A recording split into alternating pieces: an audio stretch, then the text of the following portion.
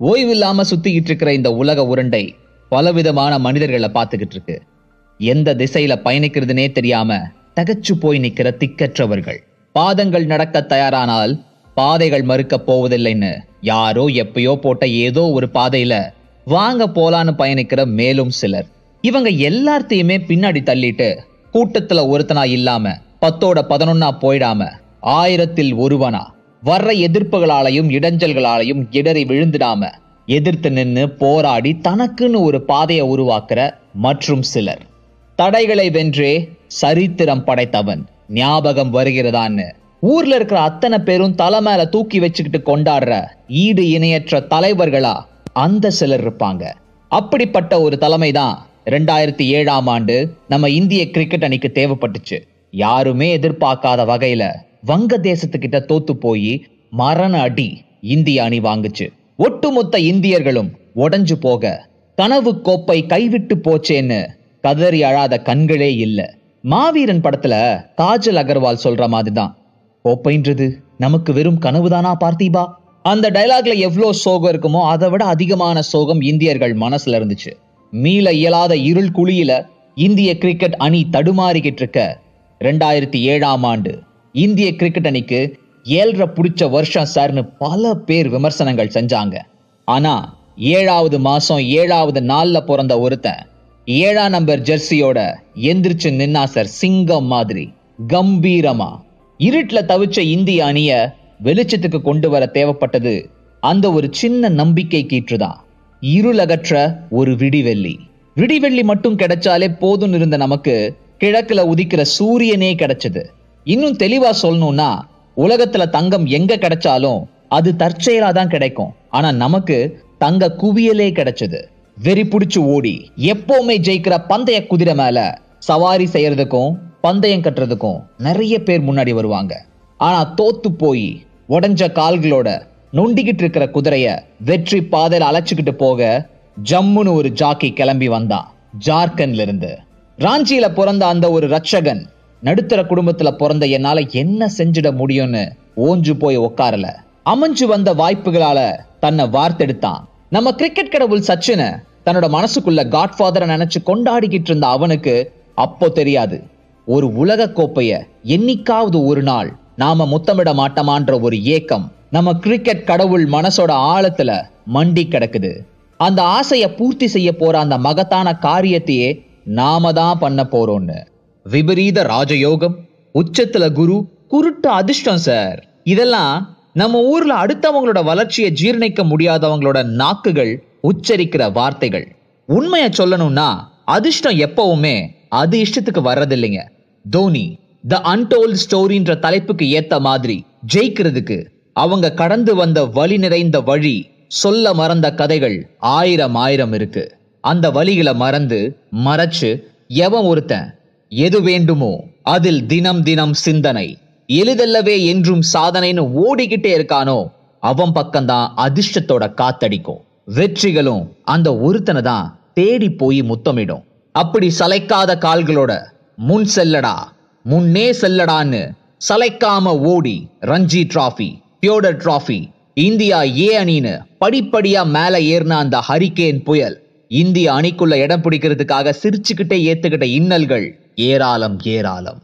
இப்படி இந்திய கிரிக்கெட்டுக்கு கிடைச்ச அந்த தேவ தூதன் ரெண்டாயிரத்தி நாலாவது வருஷம் டிசம்பர் இருபத்தி மூணாம் தேதி தன்னோட முதல் ஒன் டே இன்டர்நேஷனல் போட்டியில களமிறங்கினாரு. கண்கள் நிறைய கனவுகள். ஆனா அன்றைய தினம் அவரோட நாளா அமையல. வெறும் பூஜ்ஜியம் ரன்களுக்கு ரன் அவுட் ஆகி வெளில வர வேண்டியதா போச்சு.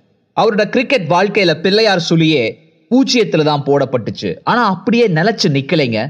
இவெல்லாம் ஒரு ஆளுன்னு டீம்ல எடுத்து வச்சிருக்காங்க பாருன்னு சொன்ன அத்தனை வாய்களையும் பாகிஸ்தானுக்கு எதிராக நூத்தி நாற்பத்தி எட்டு ரன்கள் அடிச்சு அடைச்சாரு.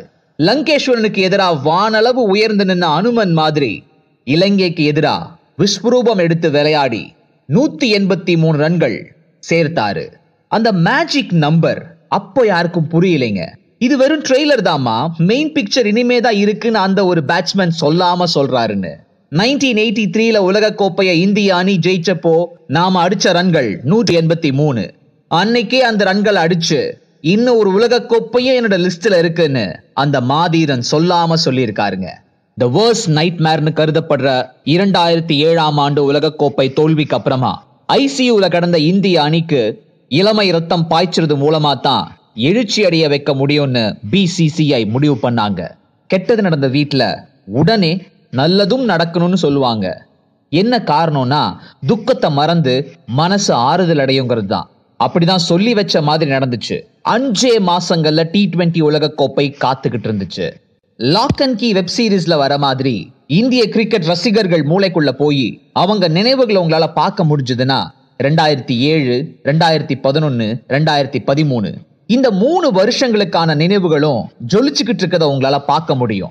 குமுதா மட்டும் இல்லாம ஒட்டுமொத்த இந்தியாவும் ஹாப்பியா நாச்சுன்னு கொண்டாடின காலகட்டம் அதெல்லாமே. கிரிக்கெட்னா என்னன்னே தெரியாத சாமானிய மக்கள் கூட அப்ப உச்சக்கட்ட சந்தோஷத்துல இருந்தாங்க. அப்படிப்பட்ட அற்புதமான லைஃப் டைம் மொமெண்ட்ஸ் அது எல்லாமே சார் இரண்டாயிரத்தி ஏழாம் ஆண்டு டி டுவெண்ட்டி உலக கோப்பைய இப்போ நினைச்சாலும் நம்ம உடல் சிலிருக்கிறத நம்மால உணர முடியும். ஏன்னா கிரிக்கெட்ன்றது நமக்கு ஒரு விளையாட்டு இல்லை. அது ஒரு உணர்வு. ரெண்டாயிரத்தி ஏழுல மார்ச் இருபத்தி மூணு அன்னைக்கு பட்ட காயத்துக்கு அதே வருஷம் செப்டம்பர் இருபத்தி நாலாம் தேதி மருந்து போட்டு அந்த வடுவே இல்லாம ஆக்கின அந்த சகலகலா டாக்டர் எப்படிங்க அவரை மறக்க முடியும்? Experts would have told me to go with a lead but I had other ஐடியாஸ்னு ஹர்பஜனுக்கு பதிலா ஜொஹிந்தர் சர்மாவை தைரியமா பவுலிங் போட வச்சு பரம எதிரி பாகிஸ்தானை வதம் செஞ்ச வசீகரனை எப்படி கொண்டாடாம இருக்க முடியும்? ரெண்டாயிரத்தி ஏழு டி டுவெண்ட்டி உலக கோப்பை வெற்றி ஏதோ லக்ல கிடைச்சிருச்சு சார் இந்த வெற்றிலாம் பத்தாது அப்படின்னு சொன்னவங்களுக்கு சிரிச்சுக்கிட்டே ரெண்டாயிரத்தி பதினோராவது வருஷம் உலக கோப்பைய வாங்கி பதிலா கொடுத்தாரு. அந்த ஒரு தொடர்ல யுவராஜ் சிங் சச்சின் காம்பீர் ஜஹீர் கான் பல வீரர்கள் கலக்குனாலும் எல்லாரோட எதிர்பார்ப்பும் ஒருத்தர் மேலதான் இருந்துச்சு. அவர் எப்போ கலக்க போறார் அப்படின்னு பார்த்துக்கிட்டே இருந்தாங்க. அவங்க எதிர்பார்த்தது மாதிரியே இறுதி போட்டியில இன்ப விருந்து எல்லாத்துக்கும் வச்சாரு அந்த இருமுகன். தான் இறக்குற நேரத்துல கூட பார்க்க விரும்புற ஒரு காட்சியா? ரெண்டாயிரத்தி பதினோராவது வருஷம் உலக கோப்பையை இந்திய அணிக்கு ஜெயிச்சு கொடுத்த அந்த ஒரு வெற்றி சிக்ஸ் அது இருக்கணும்னு கவாஸ்கர் சொல்லியிருக்காரு. இருபத்தெட்டு வருஷத்துக்கு அப்புறமா கனவாவே இருந்துட்டு இருந்த அந்த ஒரு கோப்பைய கையில ஏந்தி அணியோட தலைவனா தான் நியமிக்கப்பட காரணமா இருந்த கிரிக்கெட் கடவுளோட கைகள்ல காணிக்கையா தன்னோட குருவோட கரங்கள்ல குரு தட்சணையா அந்த கோப்பைய பரிசா வச்சாரு. கடவுளோட கணக்கு தப்பாகாதுன்னு நிரூபிச்ச அந்த கர்ம வீரனை எப்படிங்க மறக்க முடியும்? ரெண்டாயிரத்தி பதிமூணு சாம்பியன்ஸ் ட்ராஃபி பலம் நிறைஞ்ச ஆஸ்திரேலிய அணி மட்டும்தான் ரெண்டு முறை சாம்பியன்ஸ் டிராஃபியை தூக்கி இருந்தாங்க ஆனா இந்திய அணியையும் இரண்டாவது முறையா தூக்க வச்சு ஆல் ஏரியாலையும் ஐயா கில்லிடான்னு சொல்லாம சொல்லி ஐசிசி நடத்துற அத்தனை சர்வதேச கோப்பைகளையும் இந்தியாவுக்காக வாங்கி கொடுத்து பேராண்மை ஜெயம் ரவி மாதிரி நானா இதெல்லாம் நிகழ்த்தினேன்னு ஓரமா நிப்பாரு. வாங்கின டிராஃபி மொத்தத்தையும் இளம் வீரர்கள் கிட்ட கொடுத்துட்டு ஓரமா ஒதுங்கி நின்று ரசிக்கிற இந்த தலைகணம் இல்லாத தானைய தலைவனை எப்படிங்க மறக்க முடியும்? தலைமை சுமையா சுமக்கிறவங்களுக்கு முள் கிரீடம் பெருமையா பார்க்கிறவங்களுக்கு மண் கிரீடம் ஆனா கடமையா கருதுறவங்களுக்கு தான் அது பொற்கிரீடம். அந்த கடமையையே ஒரு கலையா பார்த்தவர் தான் நம்ம தங்க தளபதி. கல நிலவரம் என்னன்னு கணிக்கிறது.